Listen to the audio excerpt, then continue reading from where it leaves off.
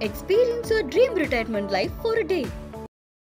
புதுச்சேரியில் பொறுப்பு துணைநிலை ஆளுநராக டாக்டர் தமிழிசை பதவியில் இருந்த மூன்று ஆண்டுகளில் இரண்டு கோடியே தொன்னூற்று ஒன்பது லட்சம் ரூபாய் செலவிட்டதாக அதிர்ச்சி தகவல் வெளிவந்துள்ளது.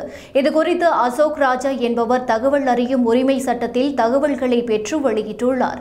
தமிழக பாஜகவின் தலைவராக இருந்த தமிழிசை இரண்டாயிரத்து பத்தொன்பதாம் ஆண்டு செப்டம்பர் எட்டாம் தேதி தெலுங்கானா மாநிலத்தின் ஆளுநராக நியமிக்கப்பட்டார். பின்னர் இரண்டாயிரத்து இருபத்தி ஒன்றில் புதுச்சேரி துணைநிலை ஆளுநராக அவருக்கு கூடுதல் பொறுப்பு வழங்கப்பட்டது. ஐந்தாண்டு பதவிக்கு பிறகு முடிந்த மார்ச் மாதத்தில் தனது ஆளுநர் பதவியை ராஜினாமா செய்த அவர் மக்களவைத் தேர்தலில் போட்டியிட்டார். இந்நிலையில் புதுச்சேரியைச் சேர்ந்த அசோக் ராஜா என்பவர் துணைநிலை ஆளுநராக டாக்டர் தமிழிசை பதவி வகித்த போது செலவிட்ட தொகை தொடர்பாக கேள்விகள் கேட்டு தகவல் அறியும் உரிமை சட்டத்தில் மனு தாக்கல் செய்திருந்தார். அதன் அடிப்படையில் ஆளுநர் மாளிகை பொது தகவல் அதிகாரி செந்தில்குமார் பதில் தந்துள்ளார்.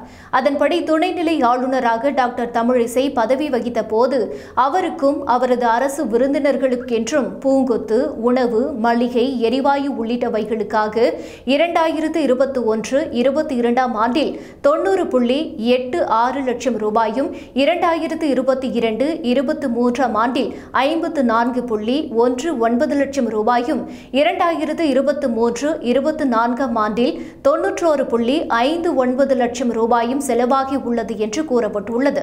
மேலும் துணைநிலை ஆளுநர் மற்றும் அவரின் அணிவகுப்பு வாகனங்களுக்கு எரிபொருள் பராமரித்தல் உள்ளிட்ட செலவுகளுக்கு இரண்டாயிரத்து இருபத்தி ஒன்று இருபத்தி இரண்டில் முப்பது புள்ளி ஏழு ஒரு லட்சமும் இரண்டாயிரத்து இருபத்தி இரண்டு இருபத்தி மூன்றில் இருபத்தோரு புள்ளி ஒன்று ஒன்பது லட்சமும் இரண்டாயிரத்து இருபத்தி மூன்று இருபத்தி நான்கில் பத்து புள்ளி ஒன்பது ஐந்து லட்சமும் செலவாகி உள்ளது என்று தகவல் அளிக்கப்பட்டுள்ளது. அவரின் விமான செலவுக்கு புதுச்சேரி அரசு இருபத்தோராயிரத்து முன்னூற்று இருபத்தி நான்கு ரூபாய் செலவு செய்துள்ளது.